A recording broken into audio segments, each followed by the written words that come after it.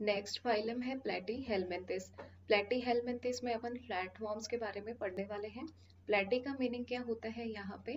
Flat होता है और हेलमेंथिस का मीनिंग क्या होता है? वॉर्म्स होता है. तो प्लेटी हेलमेंथिस में फ्लैट वॉर्म्स आते हैं. इनको फ्लैट वॉर्म्स क्यों बोला जाता है? क्योंकि इनकी जो बॉडी होती है, वो डोर्सो वेंट्रली फ्लैटेंड होती है. इसकी वजह से इनको फ्लैट वॉर्म्स बोला जाता है. और इनके हैबिटेट की बात करें तो ये प्लेटी हेलमेथिस पहला फाइलम है, जिसमें जो ऑर्गेनिज्म होते हैं, वो एज ए एंडोपैरासाइट रहते हैं, और यहाँ पे जो प्लेनेरिया होता है, जिसमें हाई रीजनरेशन कैपेसिटी देखने को मिलती है, वो फ्री लिविंग का एग्ज़ाम्पल है। तो प्लेटी हेलमेंथिस में अपन को सबसे पहले एंडोपैरासाइट देखने को मिलते हैं, जो होस्ट की बॉडी में रहते हैं, और यहाँ पे एक एक्सेप्शन है, जो प्लेनेरिया होता है, वो फ्री लिविंग होता है। और यहाँ पे सिमेट्रिक की बात करें तो सबसे पहले प्लेटी हेलमेंथिस से अपन को बायोलेट्रल सिमेट्री देखने को मिलती है। बायोलेट्रल सिमेट्री मतलब जो एनिमल होते हैं, उनको सिर्फ़ अपन एक प्लेन में दो इक्वल हाउस में कट कर सकते हैं और प्लेटी हेलमेंथिस से अपन को सिफेलाइजेशन देखने को मिलता है। सिफेलाइजेशन मतलब क्या होता है? यहाँ पे अपन को हेड का हेड फॉर्मेशन देखने को मिलता है। तो प्लेटी हेलमेंथिस पहला फाइलम है जहाँ से हेड फॉर्मेशन शुरू हो गया। अपन ने पिछले जो फाइलम पढ़े थे, वहाँ पे अपन ने देखा था, कोई डिस्टिंग हेड नहीं था। बट बट प्लेटी हेलमेंथिस में अपन को हेड का फॉर्मेशन देखने को मिलता है। इनका जो बॉडी रीजन होता है, वहाँ पे सबसे पहले क्या प्रेजेंट होता है? हेड प्रेजेंट होता है, जहाँ पे हुक्स और सकर्स प्रेजेंट होते हैं। उसके बाद में नेक प्रेजेंट होती है और नेक के बाद में क्या होता है? स्ट्रॉबिला रीजन होता है। और इनमें जर्म लेयर की बात करें तो प्लेटी हेलमेंथिस पहला फाइलम है, जहाँ से अपन को ट्रिप्लोब्लास्टिक जर्म लेयर देखने को मिलती है मतलब इनकी बॉडी में एक्टोडम और एंडोडम के साथ साथ अब मीजोडम भी देखने को मिलती है। और यहाँ पे लेवल ऑफ़ ऑर्गेनाइजेशन की बात करें तो प्लेटी हेलमेंथिस में एक ऐसा फाइलम है जिसमें ऑर्गन लेवल ऑफ़ ऑर्गेनाइजेशन देखने को मिलता है। इसके आगे के जो जितने भी फाइलम है, उनमें अपन को organ system level of organisation देखने को मिलता है। तो प्लेटी हेलमेंथिस बस एक ऐसा फाइलम है जहाँ पे organ level of organisation present होता है। सिलोम की बात करें तो इनमें सिलोम एबसेंट होता है। बॉडी प्लान की अगर बात करें तो इनका जो बॉडी प्लान होता है वो ब्लाइंड सैक टाइप होता है। ब्लाइंड सैक टाइप का बॉडी प्लान होता है, उसका मतलब क्या होता है? इनकी बॉडी में माउथ तो प्रेजेंट होता है बट यहाँ पे जो एनएस होता है वो क्या होता है? एबसेंट होता है। अपन अभी आगे डायग्राम में देखेंगे, इनकी बॉडी में अपन माउथ देखेंगे बट इनकी बॉडी में जो एनएस होता है, वो क्या होता है? एबसेंट होता है, और ऐसे टाइप के बॉडी प्लान को अपन क्या बोलते हैं? ब्लाइंड सैग बोलते हैं, जहाँ पे जो माउथ होता है, वो एज ए माउथ भी काम करता है, और एज ए एनएस भी काम करता है। इनमें रेस्पिरेशन और सर्कुलेशन की बात करें तो जो रेस्पिरेशन और सर्कुलेशन होता है, वो जनरल बॉडी सरफेस के थ्रू होता है, इनमें कोई स्पेसिफिक रेस्पिरेटरी और सर्कुलेटरी ऑर्गन्स नहीं होते। नर्वस सिस्टम की बात करें, यहाँ पे तो नर्वस सिस्टम बहुत इंपॉर्टेंट है। प्लेटी हेलमेंथिस में जो नर्वस सिस्टम होता है, वो लेडर लाइक होता है। तो ये ध्यान रखना है प्लेटी हेलमेंथिस में जो नर्वस सिस्टम होता है, वो लेडर लाइक होता है और उसमें नर्व कॉर्ड प्रेजेंट होती है। और बहुत इंपॉर्टेंट है यहाँ पे एक्सक्रीशन के लिए फ्लेम सेल्स प्रेजेंट होते हैं, जिनको सोलेनोसाइट्स भी बोला जाता है या प्रोटोनेफ्रिडिया भी बोला जाता है। ये बहुत इंपॉर्टेंट है। यहाँ से क्वेश्चन फ्रेम होता है तो आपको याद रखना है। जो प्लेटी हेलमेंथिस होते हैं, उनमें एक्सक्रीशन किसके थ्रू होगा? फ्लेम सेल्स के थ्रू होगा। इसको ऐसे याद कर लेना, जो प्लेटी हेलमेथिस होते हैं, वो क्या होते हैं? पैरासाइटिक पैरासिटिक फॉर्म होते हैं। तो उनमें जो एक्सक्रीशन होगा, वो किसके थ्रू होगा? फ्लेन सेल्स के थ्रू होगा, जिनको सोलेनोसाइट्स या प्रोटोनेफ्रिडिया भी बोलते हैं। और इनमें जो सेगमेंटेशन होता है, वो कैसा होता है? स्यूडो सेगमेंटेशन होता है। इनकी बॉडी में जो ट्रू सेगमेंटेशन होता है, वो एबसेंट होता है। स्यूडो सेगमेंटेशन होता है और यहाँ पे जो स्यूडो सेगमेंट्स प्रेजेंट होते हैं, उनको क्या बोला जाता है? प्रोग्लूटिड्स बोला जाता है। यहाँ पे जो स्यूडो सेगमेंट्स होते हैं, उनको क्या बोला जाता है? प्रोग्लूटिड बोला जाता है। और इनके रिप्रोडक्टिव सिस्टम की बात करें तो ये क्या होते हैं? हर्माफ्रोडाइट होते हैं मतलब बाइसेक्सुअल होते हैं मतलब सेम जो इंडिविजुअल होगा वो एग भी प्रोड्यूस करेगा और स्पर्म भी प्रोड्यूस करेगा। फर्टिलाइजेशन की अगर बात करें तो इनमें क्या होता है? इंटरनल फर्टिलाइजेशन होता है, जो फर्टिलाइजेशन होगा, वो बॉडी के अंदर ही होगा। और डेवलपमेंट की बात करें इनमें तो इनमें जो डेवलपमेंट होता है वो कैसा होता है? इनडायरेक्ट होता है मतलब लार्वल स्टेज प्रेजेंट होती है। अपन ने अब तक जितने भी फाइलम पढ़े पीछे वाले, उन सब में अपन ने क्या देखा? जो डेवलपमेंट होता है वो इनडायरेक्ट होता है, कोई ना कोई लार्वा वहाँ पे प्रेजेंट होता है। जो प्लेटी हेलमेंथिस होते हैं, वो अपन ने देखा क्या होते हैं? एंडो पैरासाइट होते हैं वो किसी की बॉडी में ऐसे पैरासिटिक फॉर्म में रहते हैं। तो पैरासिटिक अडेप्टेशन होती है कुछ तो वो अपन देखते हैं। सबसे पहले क्या होते हैं, इनकी बॉडी में हुक्स और सकर्स होते हैं। यहाँ पे ये जो हुक्स है, वो उनका फ़ंक्शन क्या है? जो हुक्स होती है, वो क्या करती है? अटैचमेंट में हेल्प करती है। जो होस्ट होता है, उसकी बॉडी से अटैचमेंट में हेल्प करती है। और जो सकर्स होती है, वो क्या करती हैं? जो जो भी होस्ट की बॉडी का मटेरियल होता है, उसको सक करने में हेल्प करती है।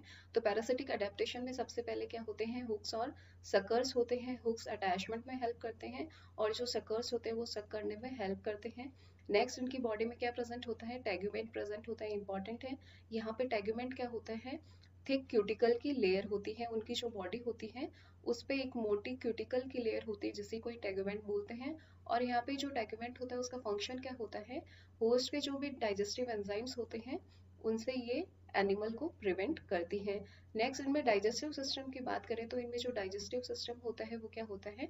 एबसेंट होता है, क्योंकि इनको ये जो होस्ट का डाइजेस्टिव फ़ूड होता है, उस पर ये फ़ीड करते हैं तो इनके खुद के डाइजेस्टिव सिस्टम की इनको ज़रूरत नहीं पड़ती, इनको पका पकाया खाना मिलता है। इसकी वजह से इनमें जो डाइजेस्टिव सिस्टम होता है, वो क्या होता है? एबसेंट होता है। ये क्या करते हैं? जो होस्ट होता है, उसका जो जो भी डाइजेस्टेड फ़ूड होता है, उसको बॉडी सरफेस के थ्रू क्या कर लेते हैं? एब्जॉर्ब कर लेते हैं। तो इनमें जो माउथ होता है, वो अपन ने देखा माउथ में क्या होते हैं? यहाँ पे हुक्स और सकर्स प्रेजेंट होते हैं। यहाँ पे जो माउथ होता है, इनमें वो फीडिंग के पर्पज से नहीं होता, वो सिर्फ़ किसके लिए होता है? अटैचमेंट के पर्पज से होता है, क्योंकि इनमें जो फीडिंग होती है, जो भी फ़ूड होता है, वो इनकी बॉडी सरफेस से एब्जॉर्ब होता है। इनमें नेक्स्ट एग्ज़ाम्पल की अगर बात करें अपन तो इनमें पहला एग्ज़ाम्पल है प्लानेरिया प्लानेरिया अपन देख चुके हैं, जो कि क्या है? फ्री लिविंग का एग्ज़ाम्पल है और जो प्लानेरिया होता है उसमें इंपॉर्टेंट है। इसमें क्या होती है? हाई रीजनरेशन कैपेसिटी होती है। मतलब ये खुद को क्या कर लेता है? रीजनरेट कर लेता है इजीली और नेक्स्ट एग्जांपल है फेशोला फेशोला को क्या बोला जाता है? लीवर फ्लू भी बोला जाता है। नेक्स्ट है टीनिया जिसको टेप बॉम्ब भी बोला जाता है। अब प्लेटी हेलमेंथिस के एग्ज़ाम्पल देखते हैं अपन। प्लेटी हेलमेंथिस को क्या बोला जाता है? प्लेटफॉर्म्स बोला जाता है। क्योंकि इनकी जो बॉडी होती है वो क्या होती है? एकदम चिपकी हुई होती है, पत्ते जैसे क्या होती है, चिपकी हुई होती है फ्लैट होती है। तो प्लेटी हेलमेंथिस का पहला एग्ज़ाम्पल अपन देखते हैं टेप वॉर्म टेप वॉर्म अपन यहाँ पे देख रहे हैं। इसको टेप वॉर्म क्यों बोला गया है? क्योंकि इनकी जो बॉडी होती है, वो टेप जैसी होती है, जो फीता होता है, फीते के जैसे इनकी बॉडी होती है, इसलिए इनको क्या बोला जाता है? टेप वॉर्म बोला जाता है। और इनके बॉडी की बात करें तो अपन ने क्या देखा था? इनकी बॉडी में क्या होते हैं? सेफलाइजेशन शुरू हो जाता है मतलब हेड रीजन देखने को मिलता है।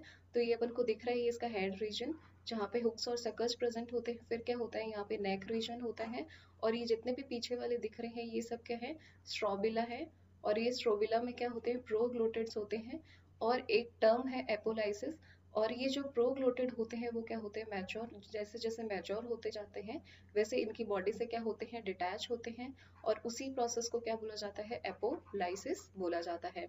तो आपको इस डायग्राम को देख के क्या क्या याद रखना है, जो प्लेटी हेलमेंथिस होते हैं, वो क्या होते हैं? उनको फ्लैट वॉर्म्स भी बोला जाता है, उनकी बॉडी चिपकी भी होती है। इनमें अपन को डस्टिंग हेड देखने को मिलता है। जैसा कि अपन इस डायग्राम में देख पा रहे हैं, और एक टर्म होता है एपोलाइसिस जिसमें जो प्रोग्लोटेड होते हैं, जैसे जैसे मैच्योर होते हैं, उनकी बॉडी से क्या होते हैं, वो डिटैच होते हैं। नेक्स्ट एग्ज़ाम्पल अपन देख रहे हैं, ये क्या है लीवर फ्लूक है, और इसमें अपन देख पा रहे हैं, इनकी बॉडी में सिर्फ़ और सिर्फ़ क्या प्रेजेंट होता है माउथ प्रेजेंट होता है, जो एनएस होता है, वो यहाँ पे क्या है एबसेंट होता है। मतलब इनमें जो बॉडी प्लान होता है, वो कैसा होता है ब्लाइंड सैक होता है। तो ये डायग्राम आपको याद रखना है। नेक्स्ट अपन बात करें फेशोला हिपैटिका की, जिसको क्या बोला जाता है? लीवर फ्लूक भी बोला जाता है। यहाँ पे जो हिपैटिक टर्म होता है, वो किससे रिलेटेड होता है? लीवर से रिलेटेड होता है। तो जो फेशोला हिपैटिका है, उसको लीवर फ्लूक भी बोला जाता है। ये क्या होता है? डाइजेनेटिक होता है। डाइजेनेटिक मतलब इस, इसका जो लाइफ साइकिल होता है, वहाँ पे दो होस्ट प्रेजेंट होते हैं। एक जो प्राइमरी होस्ट होता है, वो तो क्या होता है? शेप या गोट होता है। और जो सेकेंडरी होस्ट होता है, वो क्या होता है? गार्डन स्नेल होता है। और जो फेशुला हिपैटिका होता है, वो कौन सा डिज़ीज़ कोज करता है? लीवर रोड करता है लीवर को सड़ा देता है, जिसको सीरोसिस भी बोलते हैं।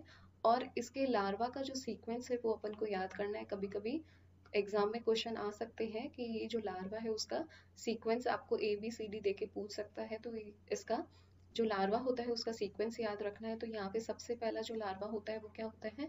मीनासीडियम होता है। उसके बाद में क्या होता है? स्पोरोसिस्ट होता है। उसके बाद में रेडिया होता है और उसके बाद में क्या होता है? सर्केरिया और मेटा सर्केरिया होता है। मतलब M S R C M M S R C M सबसे पहला लार्वा होता है मीनासीडियम उसके बाद में स्पोरोसिस्ट उसके बाद में रेडिया उसके बाद में सर्केरिया और उसके बाद में मेटा सर्केरिया तो ये क्या है? लार्वा का सीक्वेंस है। ये लार्वा का सीक्वेंस याद रखना है। और यहाँ पे ये जो बेटा सर्केरिया लार्वा है, ये किसको इन्फेक्ट करेगा? ये शीप इसका जो प्राइमरी होस्ट है शीप या गोट को इन्फेक्ट करेगा। और यहाँ पे ये जो मेरा सीडियम लार्वा है जो अपन ये जो पहला लार्वा है बीरा सीरी में किसको इन्फेक्ट करेगा? स्नेल को इन्फेक्ट करेगा। यहाँ पे जो स्नेल होता है, वो लिमनिया भी हो सकता है। तो अपन को याद रखना है, जो फेशोला हिपैटिका होता है, उसमें पाँच लार्वल स्टेजेस प्रेजेंट होती है M S R C M और यहाँ पे जो मेटासर्केरिया होता है, वो प्राइमरी होस्ट जो कि यहाँ क्या होती है शीप होती है। तो यहाँ पे जो शीप इन्फेक्टेड होती है, वो किससे होती है? मेटासर्केरिया लार्वा से होती है। नेक्स्ट अपन बात करें सेकेंडरी होस्ट की, जो कि यहाँ पे स्नेल होता है, वो किससे इन्फेक्ट होता है? इस मीरासीडियम लार्वा से इन्फेक्ट होता है। नेक्स्ट अपन बात करें टीनिया सोलियम की तो टीनिया सोलियम को क्या बोला जाता है? पोर्क टेप फॉर्म बोला जाता है। यहाँ जो पोर्क वर्ड है वो किससे रिलेटेड होता है? पिग से रिलेटेड होता है। और यहाँ पे जो पोर्क टेप फॉर्म है वो ह्यूमन गट पैरासाइट है। मतलब ह्यूमन का जो स्मॉल इंटेस्टाइन होता है वहाँ पे वो ऐसे पैरासाइट रहता है। तो याद रखना है, जो टीनिया सोलियम होता है उसको पोर्क टेप फॉर्म भी बोलते हैं। और ये यहाँ पे जो ह्यूमन का स्मॉल इंटेस्टाइन होता है वहाँ पे ऐसे पैरासाइट रहता है। और इसके लार्वा की बात करें तो इसकी तीन लार्वा स्टेजेस होती हैं, एक तो ऑनकोस्पियर लार्वा होता है नेक्स्ट हेक्साकेंथ लार्वा होता है और नेक्स्ट क्या होता है सिस्टी सर्कस लार्वा होता है। मतलब यहाँ जो लार्वा का सीक्वेंस है वो क्या है ओ एच सी है और यहाँ पे जो सिस्टी सर्कस लार्वा होता है ये भी क्या होता है डाइजेनेटिक होता है, जहाँ पे जो प्राइमरी होस्ट होता है वो मैन होता है और सेकेंडरी होस्ट होता है वो क्या होता है पिक होता है। जो प्राइमरी होस्ट होता है वो क्या होता है, जहाँ पे सेक्सुअल स्टेजेस प्रेजेंट होती हैं, उसको अपन क्या बोलते हैं प्राइमरी होस्ट बोलते हैं। तो प्राइमरी होस्ट यहाँ पे मैन है और सेकेंडरी होस्ट यहाँ पे क्या है पिग है। और यहाँ पे अगर प्राइमरी होस्ट मैन की बात करें तो यहाँ पे जो सिस्टी सर्कस लार्वा होता है वो मैन को इन्फेक्ट करता है और जो ऑनकोस्पियर लार्वा होता है वो पिग को इन्फेक्ट करता है। जो मैन होता है, वो जब मीजली पोर खाता है मीजली पोर खाता है, जो कि इन्फेक्टेड होता है लार्वा से तो उससे क्या होता है, ये पोक टेपोम जो होता है, वो उसकी बॉडी में एंटर हो जाता है और उससे टीनियासिस या जिसको सिस्टी सर्कोसिस बोलते हैं डिसीज कोज करता है। और इसकी बॉडी रीजन की अगर अपन बात करें तो ऑलरेडी अपन देख चुके हैं, इनमें क्या होता है सिपेलाइजेशन स्टार्ट हो जाता है। तो इनमें अपन डिस्टिंग हेड देख सकते हैं, जिसको स्कॉलेक्स भी बोला जाता है। और इसका जो हेड होता है, वहाँ पे हुक्स और सकर्स प्रेजेंट होते हैं, जो हुक्स होंगे, वो अटैचमेंट में हेल्प करेंगे और जो सकर्स होंगे सक करने में हेल्प करेंगे। नेक्स्ट उनकी बॉडी में क्या होती है नेक होती है। और उसके बाद में क्या होते हैं स्ट्रॉबिला होता है, जो नेक होता है, वहाँ पे प्रोग्लोटेड, नए प्रोग्लोटेड्स का क्या होता है? फॉर्मेशन होता है और जो स्ट्रोबिला होता है, वहाँ पे मैच्योर प्रोग्लोटेड्स प्रेजेंट होते हैं और एपोलाइसिस अपन ऑलरेडी देख चुके हैं। जो मैच्योर प्रोग्लोटेड होते हैं वो इसकी बॉडी से डिटैच होते रहते हैं। उसी प्रोसेस को अपन क्या बोलते हैं? एपोलाइसिस बोलते हैं। नेक्स्ट बात करें अपन सिस्टोसोमा की। तो सिस्टोसोमा को क्या बोला जाता है? ब्लड फ्लूक भी बोला जाता है। नेक्स्ट है टीनिया सेचिनेटा टीनिया सेचिनेटा को बीफ टेपॉम भी बोला जाता है। अपन ने अभी क्या देखा था? पोर्क टेपॉम देखा था। और ये जो टीनिया सेचिनेटा होता है, वो क्या होता है? बीफ टेपॉम होता है। नेक्स्ट होता है इकाइनोकोकस जिसको अपन डॉग टेपॉम भी बोलते हैं। तो प्लेटी हेलमेंथिस में अपन ने क्या क्या देखा? प्लेटी हेलमेंथिस को क्या बोला जाता है? फ्लैट वॉर्म्स भी बोला जाता है। और इनमें अपन को सबसे पहले क्या देखने को मिला? सिपेलाइजेशन देखने को मिला। और उसके बाद में अपन यहाँ पे लेवल ऑफ़ ऑर्गेनाइजेशन की बात करें तो सबसे पहले अपन को यहाँ पे क्या देखने को मिला? ऑर्गन लेवल ऑफ़ ऑर्गेनाइजेशन देखने को मिला। सबसे पहले अपन को यहाँ पे बायोलेट्रल सिमेट्री देखने को मिली। सबसे पहले यहाँ पे अपन को क्या देखने को मिला? ये क्या होते हैं? ट्रिप्लोब्लास्टिक होते हैं। इनमें एक जो मीजोडर्म लेयर होती है, वो देखने को मिलती है। और इनके एक्सक्रेटरी सेल्स की अपन बात करें तो वो कौन से होते हैं? फ्लेम सेल्स होते हैं, जो कि क्या है? इंपॉर्टेंट है। फिर इनमें अपन को क्या देखने को मिलते हैं? मसल लेयर्स देखने को मिलती हैं। नेक्स्ट अपर बात करें तो ये क्या होते हैं? एंड पहला ऐसा फाइलम है जहाँ अपन को क्या देखने को मिले? एंडो पैरासाइट देखने को मिले। तो ये कुछ इंपॉर्टेंट है, ये आप याद रखना। Thank you